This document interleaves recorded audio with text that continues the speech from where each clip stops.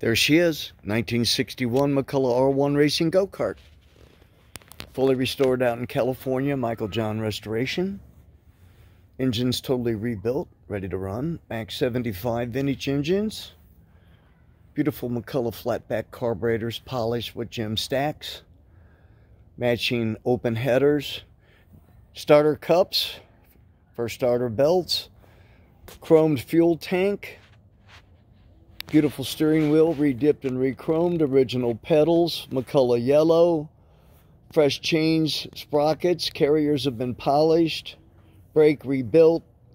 Clean on the bottom as it is on the top. It's out here at 85234 Phoenix, Arizona. Happy to answer any questions that you might have about it.